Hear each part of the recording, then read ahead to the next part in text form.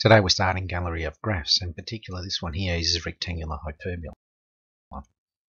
The rectangular hyperbola has the rule of y equals 1 on x. And of course, x cannot equal 0 because you can't divide by 0. So this, at x equals 0, we have an asymptote. So we should mark it with dots like this and do this and label it as well. And if we arrange it we get x equals 1 on y, and of course y cannot equal 0, so we have an asymptote at y equals 0. So again, mark it with dots, like this. Then, that's just the normal standard one. The general rule becomes a divided by x minus b plus c. This a here has the same function as everything else. It's the dilation of a from the x-axis x minus b has the same function as before. It translates it either left or right. And of course, don't use those words. Use the words that I've got negative direction of the x-axis or positive direction of the x-axis. And the plus c translates it either in the positive direction or the negative direction of the y-axis. Just like before, the asymptotes become, when this equals 0, so at x equals b, and just the c itself. The asymptotes change. The normal graph, of course, if it's positive, it's in that in that direction. If it's negative, it's in those quadrants there. So very important. Example 1 says sketch y equals 1 divided by x minus 3 plus 3. Now, this has asymptotes at x equals 1 and y equals 3. So if I was to start sketching it, it will look something like this. Sorry about the lines being crooked. I'm just doing it off freehand. One, two there, three, four, five, negative one, negative two, negative one, negative two. So the asymptotes that we have are at x equals one.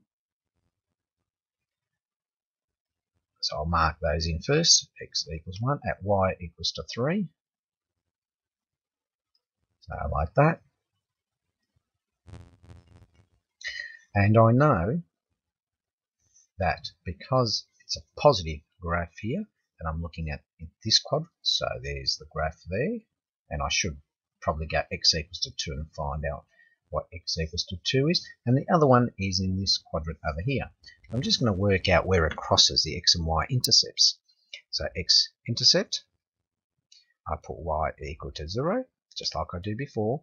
And I get 1 divided by x minus 1 plus 3 equals 0, 0. 1 divided by x minus 1 equals negative 3.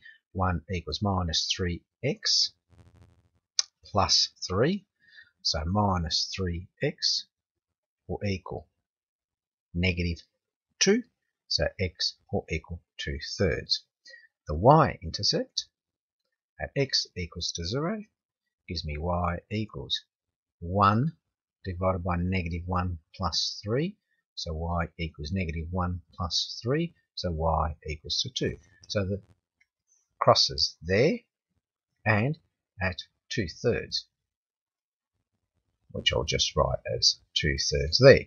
And so the graph has that shape there. This is so we can get our shape properly and also so that we can mark down where it crosses the, the intercepts. I'm just going to label it. There it is there. The second one, example 2 says, sketch the graph of y equals 2 divided by x plus 1 minus 3. Again, the asymptote is at x plus 1 equal to 0, so x equals negative 1, and at y equals negative 3. It's still a positive there, so we don't need to worry about that. So I'm just going to quickly sketch it over here. Again, I'll work out if it needs to work, if I need to work out x and y intercept, I'm not going to do that first. So we've got 1, 2, 3, 1, negative 1, negative 1, negative 2, negative 3, negative 4. Put my asymptotes down at x equals negative 1, which is right here.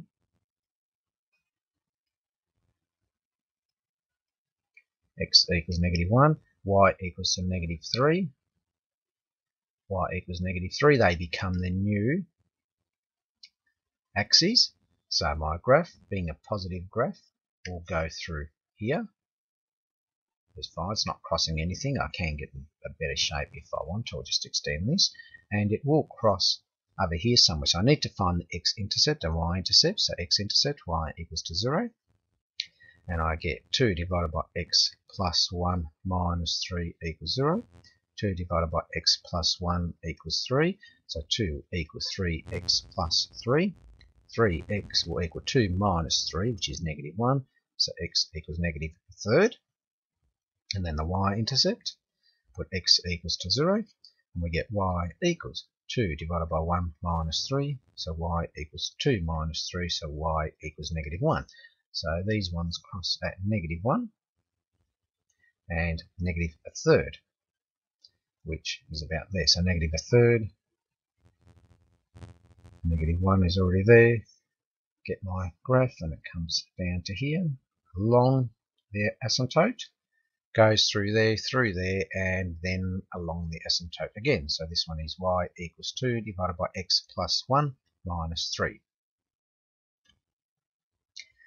Example 3. Sketch y equals negative 2 divided by x minus 1.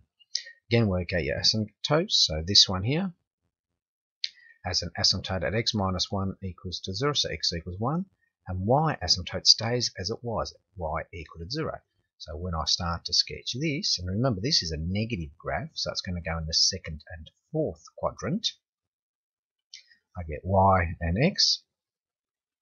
1, 2, 3, 1, 2, 3, negative 1, negative 2, negative 1, negative 2. Mark my asymptotes in at x equals to 1. x equals 1 and y equals to 0.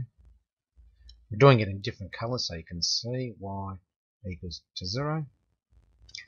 Being a negative graph, it goes in the second quadrant. So this one and this one. Well, this one I can do. There's a rough graph, I'll do it in green. I should get at least a point to get the graph right. And this one I need to find where it crosses the y-intercept. I don't need it, the x-intercept, so y-intercept. You put x equal to 0. You get y equals minus 2 divided by minus 1, which equals 2. So this one crosses there.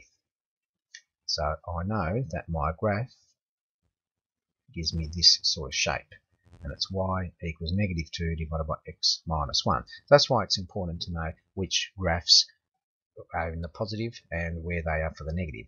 You can sketch these normally just using a normal calculator. You know, you calculate and y equals and just press graph. 5a questions.